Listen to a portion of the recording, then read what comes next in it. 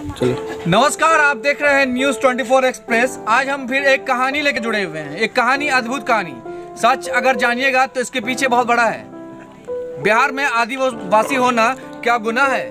बिहार में अगर आदिवासी के कैटेगरी में अगर हम हैं तो क्या हमें होना भी गुना है? या फिर यूँ कहें कि हमें सरकार द्वारा सारी चीज़ों से वंचित कर दी जाती है? आज आपको एक फिर नई कहानी से अवगत कराएँगे हम। न्यूज़ 24 एक्सप्रेस जो है, एक ऐसे हर एक पहलू पर काम कर रही है बिहार में।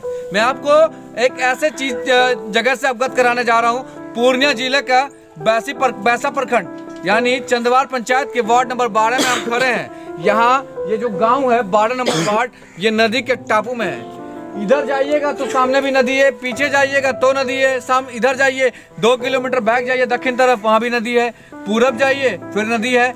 यानी ये गाँव जो है, मेन टापू पे बसा हुआ है। ना ही यहाँ विधायक जी आते हैं और ना ही यहाँ के सांसद जी आते हैं।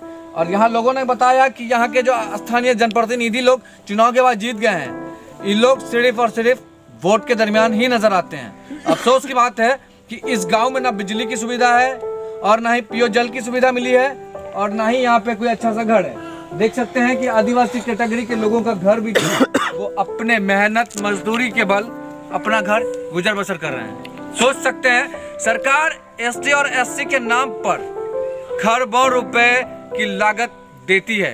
क्यों? आखिर बिहार सरकार की ऐसी कौन सी योजना है जो धरातल पर आदिवासियों के लिए लाया गया हो? मैं आपको अवगत करा रहा हूँ वार्ड नंबर 12 के सड़कों से भी। आइए जरा सा इन सड़क को भी दिखा दें आपको। ये सड़क है, कच्ची सड़क है। जब बरसात का दिन होता होगा तो यहाँ पे कीचड़ से भरा हुआ ये सड़क होता होगा। मगर यहाँ के लोगों ने जो बताया कि यहाँ व्यवस्था कुछ भी नहीं है और ना ही बिजली है।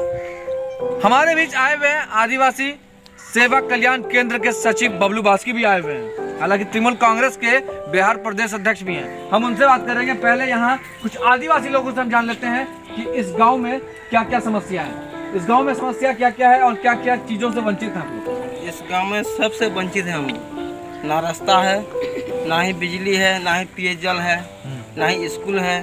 आंगनबाड़ी केंद्र बीच बाद में बना दिया है और बाकी हम लोग जितना ही बच्चा को पढ़ा रहे हैं अपना सर पे कफन बाँध के उस पर जाते हैं। बहुत बड़ी बात है कि जो आदिवासी समाज के साथ किस तरह से व्यवहार हो रही है बिहार में नीतीश सरकार के कार्यकाल में।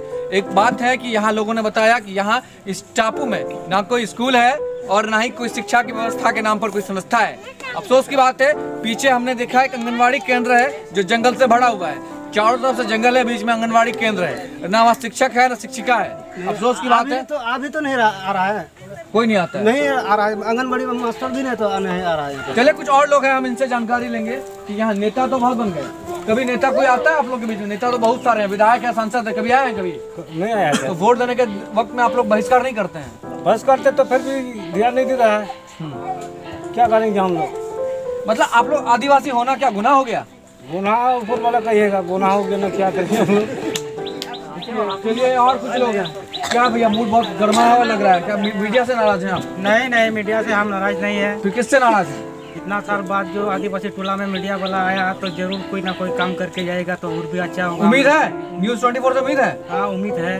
देखिए कुछ लोगों ने ही कहा है न्यूज़ 24 एक्सप्रेस ऐसे मामले को अगर दिखाती है तो सरकार के कानों तक पहुँचती है। और सरकार को हिलाने का काम न्यूज़ 24 एक्सप्रेस करती है।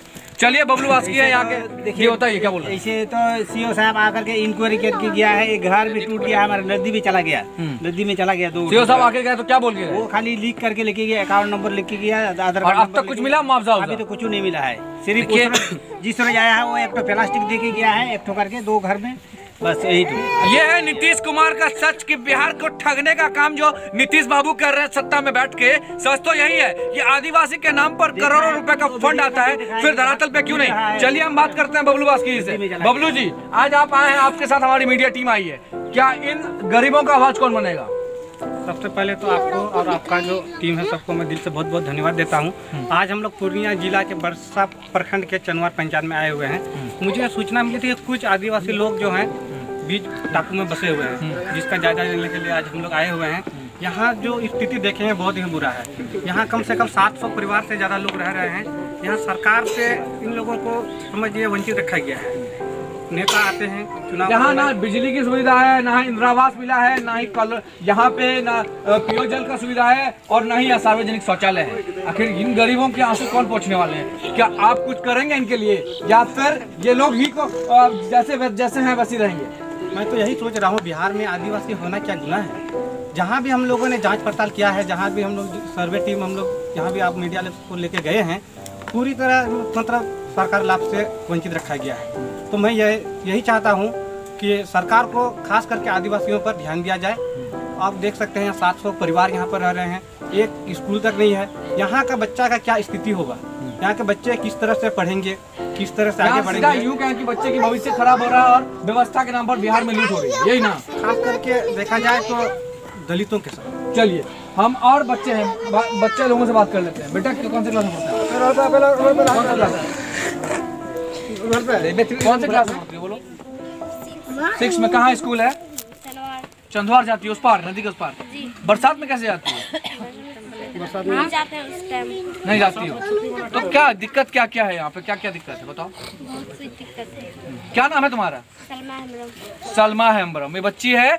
बताती है, जब बरसात होता होगा, ज़ाहिर सी बात है, नदी है और महानंदा नदी है। कोई छोटा मोटा नदी नहीं है। यहाँ बरसात के दिनों में लोगों की जो समस्या है, वो भारी उत्पन्न होती होगी। मगर बिहार सरकार के लोग जो हैं, आज भी कहते हैं कि बिहार में गंगा की नदी बह रहा है, विकास के नाम पर। तो सच तो यही है कि विकास के नाम पर सिर्फ़ बिहार को लूटा जा रहा है। न्यूज़ 24 एक्सप्रेस ने ऐसे मामले का एक्सपोज इसलिए किए है कि सरकार जो अपने कामों में पर्दा डाल रही है, इसका सिलसिला खुल रहा है। अब न्यूज़ 24 एक्सप्रेस ऐसे मामले को लेकर लगातार आपको अवगत कराएगी। मैं पूर्णिया ज़िले से संवाददाता न्यूज़ 24 एक्सप्रेस के लिए मिनहाज आलम